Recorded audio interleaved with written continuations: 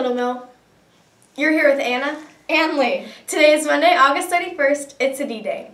Now for lunch today. Spicy chicken chunks with roll, country pork barbecue on bun, whole grain corn dogs or minis, or vegetarian option. There's also a variety of salads and subs. Saturday, September 12th will be Little Mill Middle School night at Turner Field, Little at Turner Field. Little Mill faculty, students, and families will receive discounted tickets to watch the Atlanta Braves take on the New York Mets.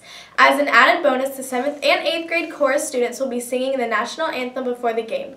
Tickets are only $15 each. Please see Mr. Speakman in the chorus room for an order form. Ticket order forms and money will be returned by Friday, September 4th. 7th and 8th grade girls interested in trying out for basketball cheerleading there will be an informational meeting in Coach Foreman's room on the 6th grade hall tomorrow morning at 8.45. Art Club is now full. If you're a member, don't forget the first meeting will be held Wednesday at 8 a.m. in the art room. There's been a change in the chess club meeting dates. From here on, Chess Club will meet Monday after school in Miss O'Byrne's room from 4.15 to 5 o'clock p.m.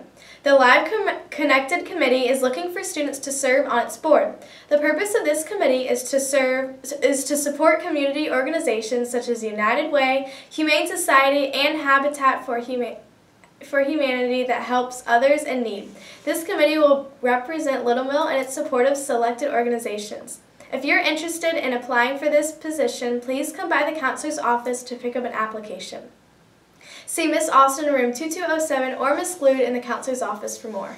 Tomorrow is our first home football game as we take on South Forsyth Middle School, and we're having a pep rally to get our team fired up. It's a blackout, so come dressed in black to show your support for the, our mighty Mustangs. Wednesday is also an early release day. School will be dismissed at 1.30. Students, please make sure you have the proper transportation arrangements.